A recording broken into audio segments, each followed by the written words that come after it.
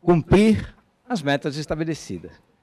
Porque a vida sem metas não é legal. É monótona. Você acorda de manhã, o que eu vou fazer hoje? Bom, vou fazer o de sempre. Quando você tem uma meta, você está sempre buscando algo.